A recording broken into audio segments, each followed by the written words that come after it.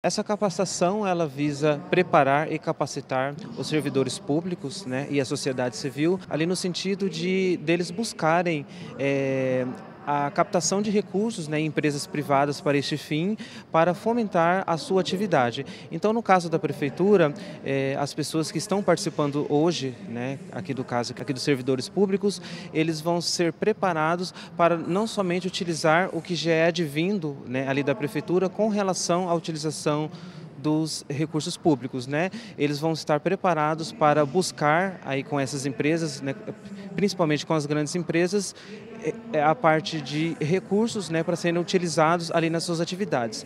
Da mesma forma, a sociedade civil. A gente tem a participação aqui, por exemplo, de igrejas e do Rotary Club, né, onde eles vão estar preparados a escrever os projetos e buscar é, esses valores aí na sociedade, né, aí com as empresas aí de grandes portes, para utilizar ali nas suas atividades. É importante mencionar justamente esse cuidado e esse preparo que o SEBRAE traz, não apenas para a prefeitura, para algum público, mas para toda a nossa sociedade em geral. Né? Eu acho que vale lembrar a questão que essa preparação, essa capacitação, ela é advinda da Prefeitura Municipal de Alto Garças, em parceria com o SEBRAE.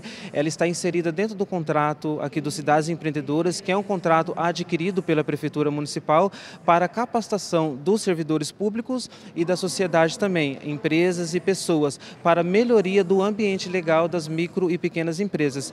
Então, é importante dizer que essa capacitação, a exemplo de hoje, né, Assim, dentro do contrato a gente tem várias outras ações, né, mas essa capacitação de hoje, como as, as outras, ela tem o objetivo de capacitar as empresas e pessoas, é, as pessoas né, advindas aí da sociedade civil e os servidores públicos, a fim de é, fazer uma preparação né, assim, com relação é, aos serviços prestados para a sociedade e a melhoria do ambiente legal.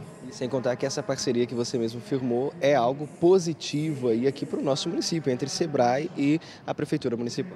Exatamente, extremamente positivo. Né? Vale lembrar que através da figura do prefeito, o senhor Claudinei, ele está visualizando né, a, a futuro próximo eh, essa melhoria do ambiente legal, onde a gente pode eh, observar a melhoria de vários aspectos dentro do município, né? porque se melhora para as empresas, as empresas crescem, elas contratam mais, elas empregam, elas têm a parte do faturamento maior e isso é um ciclo que fica dentro do próprio município. Então ele visualizou é, nessa questão da melhoria das empresas, aí do ambiente legal e o futuro da sociedade, né? Essa melhoria para a sociedade através dessa melhoria para as empresas e consequentemente aí desse ambiente, né? É que começa pelas empresas a, a questão de empregos, a geração de empregos, a, a geração de faturamento, entre outros assuntos também.